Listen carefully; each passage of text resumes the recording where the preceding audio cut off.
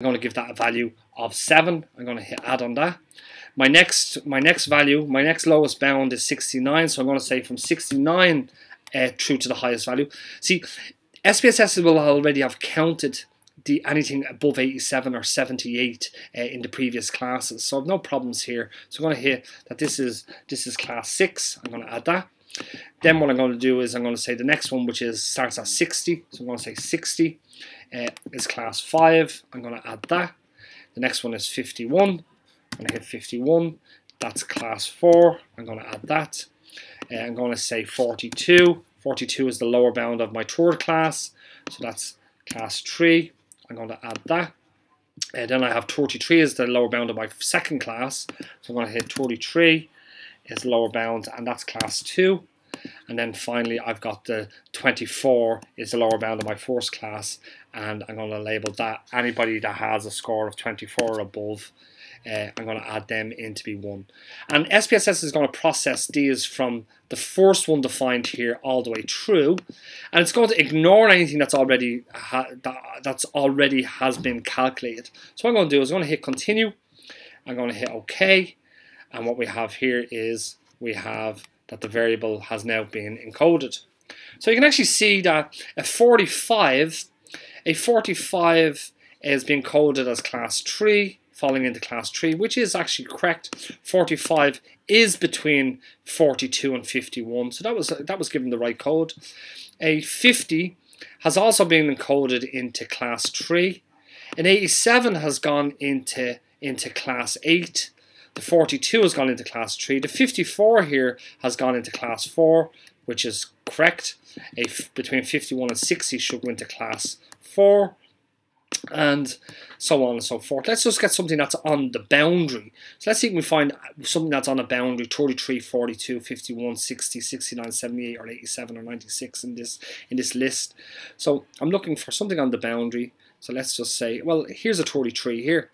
And you can actually see that 33 was coded into class 2. It wasn't coded into class 1, okay, which is what we might have expected, uh, but it's it's exclusive of the upper bound. So SPSS has actually coded 33 correctly into class 2, which is the lower bound of the second class here. Okay, I suppose what we really should do also is we probably should go into the variable view window and we should, I suppose, let's say assign values to these classes. Okay, so let's assign some values. Actually, let me get me my let me get my oops let me get my uh, my class my class intervals here. So I'm going to go into variable view.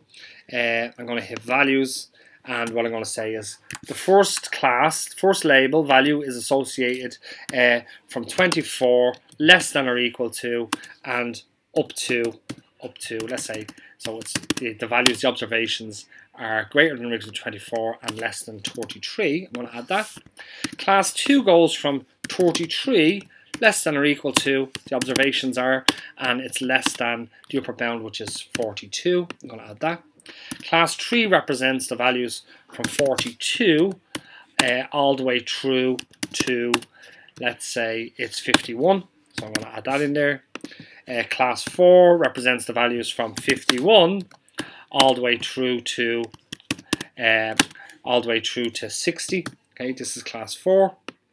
Okay. Class 5, you can see I'm using the inequalities uh, to represent these classes. So class 5 goes from 60 to 69, so it's inclusive of 60, so the observations are bigger than or equal to 60, and they're specifically less than 69. I'm going to add that. Class 6 then, the observations go from 69, uh, which are less than or equal to the x's, uh, which go through to 78. Okay, going to add that. Class 7 then, its bounds is from 78 to 87. So from 78, less than or equal to the observations. Okay, oops, let's put in an upper bound here. Sorry, an uppercase letter, uh, all the way through to 87. I'm going to add that. And then class 8 goes from 87 all the way through to all the way through to 96. Okay, and I'm going to add that. And then I'm going to hit OK. And I'm going to define this variable to be an ordinal variable. So this is an ordinal variable. And now what we have is we go back here, you can see that all of the intervals, all the all the observations have been put into their appropriate classes.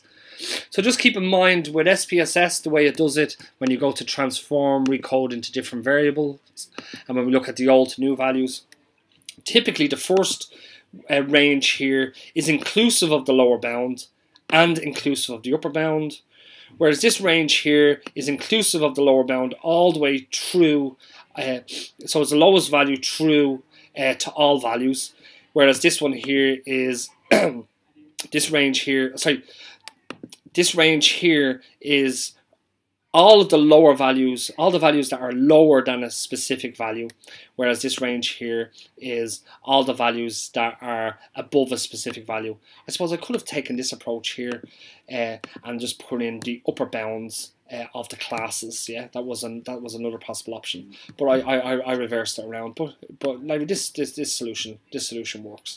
Uh, okay, guys. Uh, once again, this was Jonathan Lambert with the Mathematics Development and Support Service at National College of Ireland, and I hope that this video was in some way uh, intuitive, and more importantly, I hope was that I hope that was helpful for you. And thanks for watching. Okay, bye bye.